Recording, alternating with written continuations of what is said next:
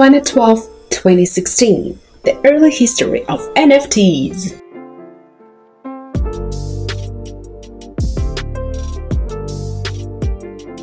Welcome to GamesPad Academy.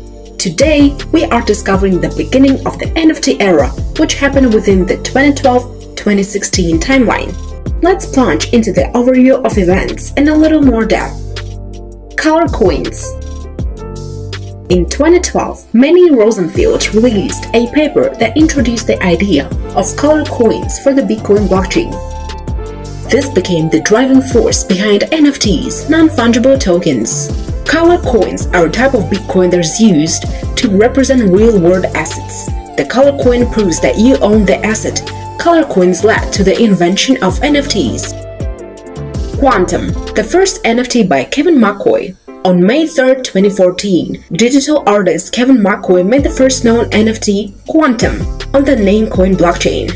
Following these events, a significant amount of experimentation and development occurred and there were platforms built on top of the Bitcoin blockchain. The Ethereum blockchain also started its initial reign over NFTs.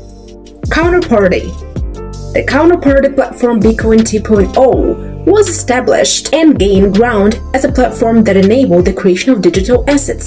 Spells of Genesis Spells of Genesis followed close behind in the footsteps of Counterparty and began pioneering in the issuing of in-game assets. Memes started being minted as NFTs. 2016 was the age of the meme and saw the release of a host of rare Pepes NFTs on the Counterparty platform. However, the Bitcoin blockchain was never intended to be used as a database for tokens representing the ownership of assets. And thus began the big shift for NFTs to the Ethereum blockchain. That is all for today's video. Learn more in the description below. Stay tuned for more NFT education from GamesPad Academy.